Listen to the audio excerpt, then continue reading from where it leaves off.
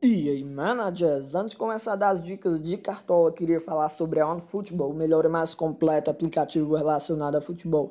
Com ele você tem como ficar por, por dentro de tudo que ocorre aí no futebol europeu e nacional. Acabou de sair uma notícia fresquinha aí que o Higuaín está indo para o Milan e o Bonucci está retornando para a Juventus para ficar por dentro de tudo que acontece no mercado da bola nacional e europeu. Só baixar o OnFootball é gratuito e com ele tem a opção também de olhar os campeonatos. Vamos olhar aqui a Copa do Brasil. Está aparecendo os confrontos da Copa do Brasil que ocorreu ontem.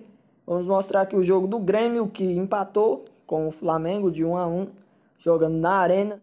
E com ele tem como mostrar tudo o que aconteceu na partida, todos os lances, escalações também. Então, velho, tá esperando o que para baixar o Futebol é gratuito e tem tanto para o sistema operacional iOS como Android. O link vai estar na descrição e fixado no topo dos comentários.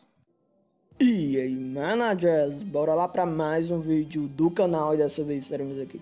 Estando boas opções para capitão nessa rodada 17, então, velho, tá esperando o que? Chega dando voadora nesse like, deixa o like no vídeo aí. Para fortalecer, está conhecendo o canal através desse vídeo, já é muito importante você se inscreva para receber as notificações e acompanhar o nosso canal daqui para frente. Bora deixar de enrolação, já começar a citar boas opções como capitão. E a primeira indicação aí que eu vou citar para vocês é o atacante Pedro do Fluminense. Enfrenta aí a equipe do Bahia. O Flu tá na nona colocação, enfrenta o Bahia que está em 15 Pedro já marcou 9 gols em 14 partidas, duas assistências, 24 finalizações, a média aí muito boa de 7.77 na última rodada. Não foi tão bem, fez 4.50 é um grande jogador, artilheiro aí do Campeonato Brasileiro e acredito que fará um gol. Por isso que é uma ótima opção como capitão, primeiramente pelo confronto e pelo jogador que é, porque não é à toa que está aí sendo artilheiro do campeonato com 9 gols. Outra boa opção é o meio-campista Nenê da equipe do São Paulo, já jogou 15 jogos, marcou 6 gols, 2 assistências e 11 roubadas de bola, porque é uma boa opção. Frente aí equipe do Vasco, tem a lei do ex, o Vasco não vem tão bem, São Paulo vem embalado no Campeonato Brasileiro, então tá na segunda colocação. O Nenê é o principal jogador de meio campo, cobra faltas, escanteios e também pênaltis, por isso que é um fator muito importante. Domina a bola parada da equipe do São Paulo, um grande jogador, e acredito que fará uma boa pontuação contra o seu ex-clube, o Vasco. Fiquem atentos no Nenê, porque é uma boa opção aí para capitão. Uma boa opção também para capitão é o companheiro do Nenê, o Diego Souza, já marcou aí seis gols nesse campeonato, uma assistência e três roubadas de bola. No Cartola FC tá como meio campista, só que na equipe do São Paulo sabemos que ele joga como centroavante. Na última rodada fez 6.20, tá com a média bacana de 5.24. O Vasco, como eu falei, não vem tão bem assim. São Paulo é favorito, principal favorito da rodada, por isso que eu vou indicar o Diego Souza, porque é um dos artilheiros da equipe ao lado do Nenê.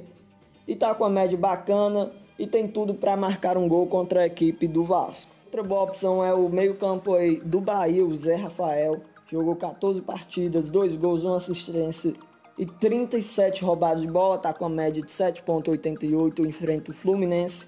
É uma boa por quê? Porque é o principal jogador da equipe do Bahia é o que cobra aí as faltas, os escanteios, tem grande chance de dar uma assistência e até mesmo se destacar roubando bolas, já que apesar de ser um meio-campo ofensivo, ele rouba bastante bolas. Tem tudo para fazer uma boa pontuação, porque ele sempre costuma pontuar bem. Podemos notar que as últimas pontuações dele é ótima, tá voltando agora. Já faz dois jogos que não joga pela equipe do Bahia no Campeonato Brasileiro. Voltou super bem aí contra o Palmeiras é um grande jogador, tem tudo para mitar o Zé Rafael. E a última opção aí como capitão é o Arrascaeta, meio-campo do Cruzeiro até então, tá com a média de 9.15, o meio-campo com a melhor média ao lado do Andrei do Vasco. Na última rodada fez 4.20, não marcou gols nem deu assistência. Tá com 3 gols marcados, 3 assistências e 17 roubadas de bola em 9 jogos, é um grande jogador. Tá com a super média, o Cruzeiro enfrenta a equipe do Vitória, que a zaga é muito ruim. Cruzeiro favorito, no meu ver, tem tudo para vencer a equipe do Vitória, mesmo jogando fora de casa. O Arrascaeta tem tudo para mitar, já que sabemos o talento aí do cara.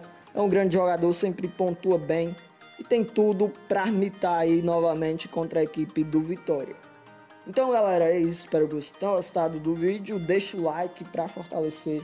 Forte abraço, valeu, partiu, falou e fui!